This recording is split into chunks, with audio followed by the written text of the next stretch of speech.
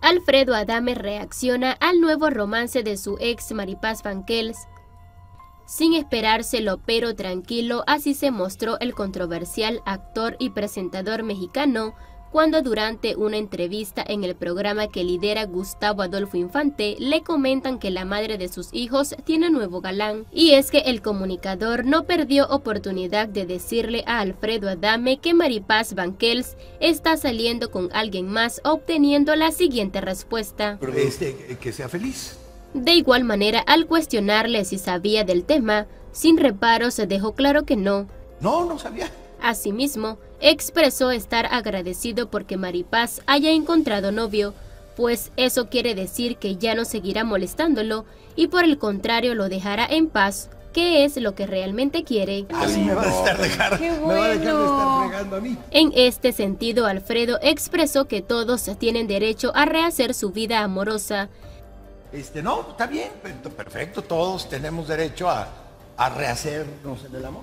Mientras que continuó deshaciéndose en elogios para la conductora del espacio Mónica Noguera. ¿Qué necesito yo? Adame, Una compañera, una mujer decente, educada, guapa. Y creo que ahorita la única que reúne esas condiciones es Mónica. No obstante, Gustavo Adolfo quiso retomar en el tema de Maripaz, cuestionándole si en verdad no le enoja saber que su ex mujer está estrenando romance, No, no, me va a molestar. Este, la felicito. razón por la que fiel a su personalidad polémica Alfredo le cuestionó que por qué se molestaría, pues más bien si supiera de quién se trata lo llamaría para advertirle de la persona con quien está saliendo. Si me dices el, el nombre, este, pues le voy a hablar para advertirle. Como se sabe, Banquels confesó que este galán es una persona que conoce hace años, cuando ambos estaban casados, pero ahora ahondarán más como hombre y mujer. Nos conocíamos en plan casados y ahorita ya estamos los dos solteros,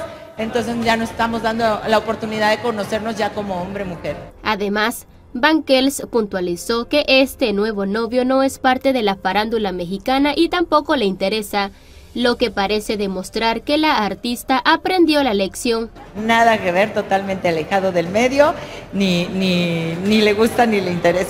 ¿Ya estás suscrito al canal?